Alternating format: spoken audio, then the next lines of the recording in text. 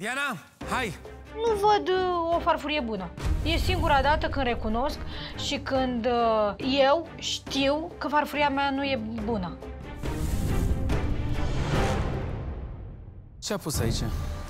Acolo am vrut să fac o cremă din Tapioca. apioca. Tapioca.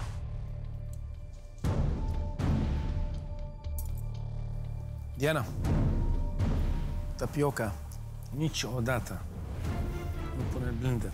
Niciodată. Este o perlă frumoasă. Se te pune în apa caldă, pic de sare, asta se fiert, până să fii transparent. Apoi se pune în sita sub apa rece, s- scoate toată amidon să nu se fie lipicios. La top 6, unde ajung tu, trebuie să învați puțin mai mult. Mult. Vezi? Da, le-am Cât ținut de prea mult ai gătit somonul. Da. Ai scos din el toată grăsimea, tot sucul.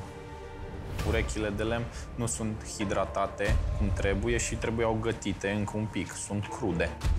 Salata sau salsa, cum vrei să o numești, mi se pare foarte neîngrijită.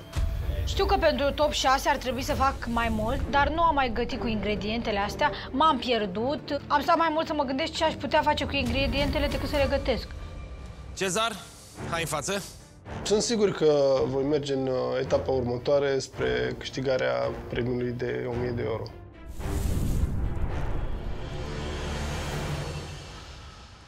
Dovleac, pe care o parte l-am pasat, o parte l-am făcut cuburi. Din tapioca am încercat să imit niște icre de Manciuria.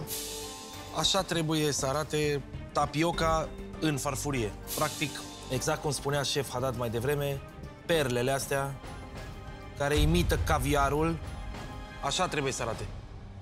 Mulțumesc! Mulțumesc și eu. Este foarte gustos și arată bine. Prezentația a folosit ingredientele exact pe măsura, dar anșoaua a trebuit încă puțin să fii mai prezent un pic în gură. Mulțumesc! Mulțumesc și eu. Nu avea ce să iasă rău, ingredientele au fost foarte bune, gustul era foarte bun la hrișcă. Sunt sigur că voi merge în uh, etapa următoare spre câștigarea premiului de 1000 de euro. Alina, haide în față. Ce-o fi, o fi. Dacă le place bine, dacă nu, e prea târziu. Plating-ul nu pot să zic că este unul uh, rău, dar aș putea să zic că cea mai nemulțumită sunt de tapioca mea. Simt că ceva nu e ok acolo.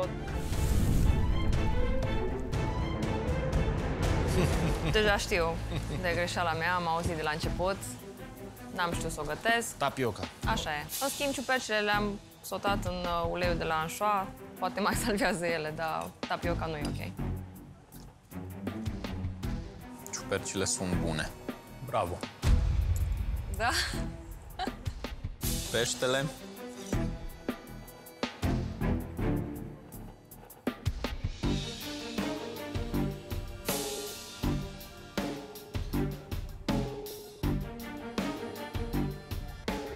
este gătit la perfecție. Nu mă Moale, așteptam. suculent, foarte, foarte, foarte bine gătit. Să-mi lași și mie. Foarte bine gătit. Somonul? Ce a zis tu? Excelent. Super excelent! Mulțumesc! Ce bine! Este absolut bestial vorba lui șef Haddad. Am avut puține emoții. Când uh, mi-a arătat șef chelarul peștele, mă gândeam că poate e nefăcut, dar uh, cred că a vrut doar să mă sperie și peștele meu e minunat. Ionuț, hai în față! Când am auzit ce i-au spus ju- jurații lui Alina, gătit somonul ăla la perfecție, am zis, băi, compliment pentru somon, astăzi sigur nu mai primește nimeni. Primul rând, cum arată farfurie, este farfurie de fine dining. Adică puțin și sper să fie gustoasă. Domne, da. Tapioca, se vede, nu este gătită.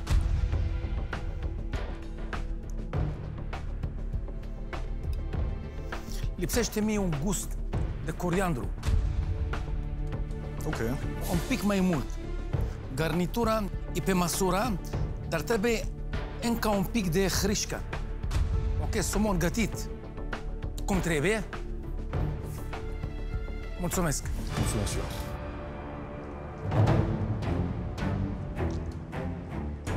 Între doi somoni gătiți amândoi excelenți, tot timpul o să-mi placă mai mult la cu crustă frumoasă.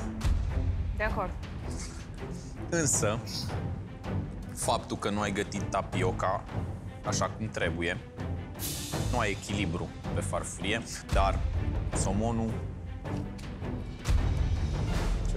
Mă bucur mult când șef Chelaru dă mâna cu mine, asta înseamnă că am făcut o treabă bună și mă bucur de fiecare dată când fac o treabă bună. Bravo, Iana.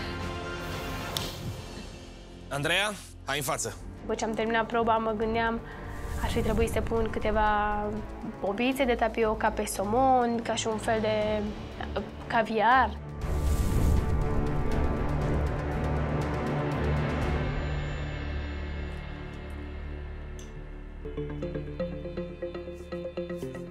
E singura.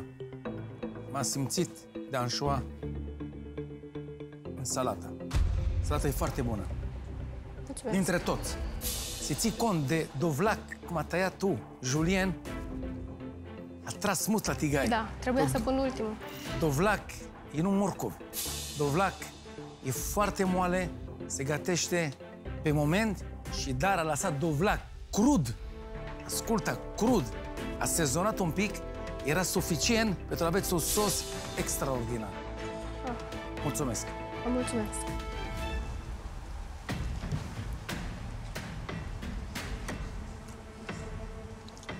Uite, așa vezi. Da. 30 da, de da, secunde. Absolut. Nu-ți trebuia mai mult. Mulțumesc. Vă mulțumesc.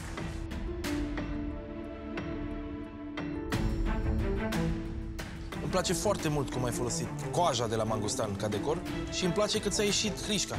Vă mulțumesc. Per ansamblu, gândirea mea cred că a fost corectă. A fost dificil, nu a fost chiar ușor. Îmi doresc să câștig astăzi cei 1000 de euro. Eu sper ca peștele meu să fie un pește de 1000 de euro. Sper să am noroc și sper să mă duc să lupt în continuare la proba următoare. Sunt sigur că voi merge în uh, etapa următoare spre câștigarea premiului de 1000 de euro. Să știți că este foarte greu să incluzi 16 ingrediente în aceeași farfurie. Și chiar dacă pentru toți unele ingrediente au fost la prima vedere, ați reușit să vă descurcați foarte bine cu ele. Din păcate însă, într-una dintre farfurii nu am găsit echilibru, nu s-au simțit aromele. Concurentul care a făcut această farfurie se va opri din lupta pentru premiul de 1000 de euro oferit de Carrefour. Iar acel concurent este